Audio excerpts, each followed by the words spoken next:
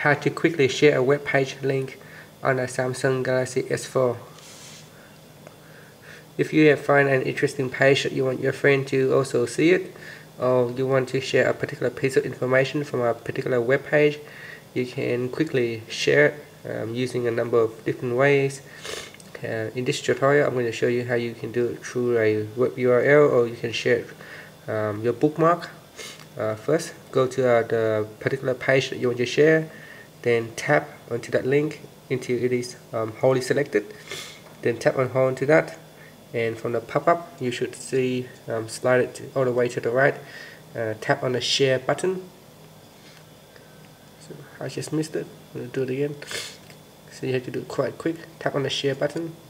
And in here you can choose a number of different various sources such as uh, Bluetooth, Facebook, email um, you can choose uh, to share it to a um, social network such as Google Plus or SMS you can add it to um, social um, chat applications such as Viber, WhatsApp and any of the other apps that you install such as Skype.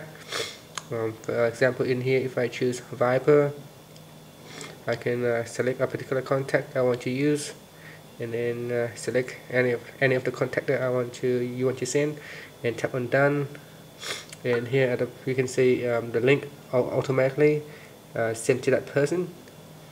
Now you can also um, choose um, to um, send it through uh, using SMS the other way you can do it is to um, share a link um, in your bookmark.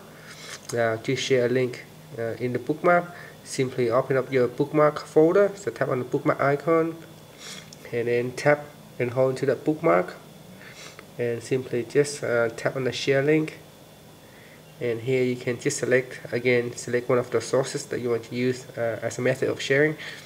Then uh, simply just select that. And that's all you have to do. Thank you for watching this video. Please subscribe to my channel for more video tutorials